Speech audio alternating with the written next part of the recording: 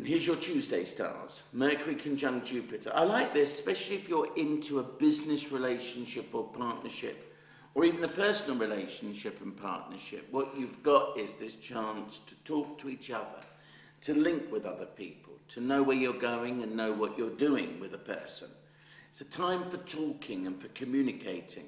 The more you can get things out in the open and into discussion, then the happier your life will be.